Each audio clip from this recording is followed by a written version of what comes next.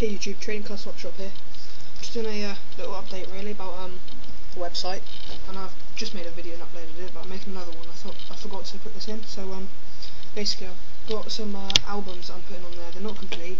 Some of them are empty. Some of them got a few stickers in, but they're in pretty much great condition. I'll show you some of the ones that are going on. Well, all of them. There's the Lions England 2006 uh, World Cup sticker album.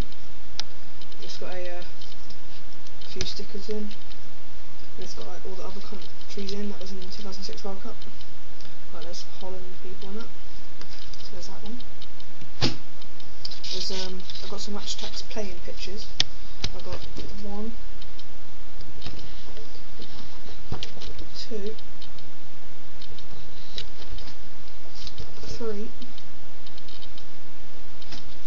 and four playing pictures match and I'm also selling the uh, Merlin's the Premier League 2007 sticker book, which has got stickers in for, I don't know, like some Newcastle people. Um, and I've got Euro 2008 sticker album, it's completely new, no stickers in it. I think in the middle it's still got the uh, order form.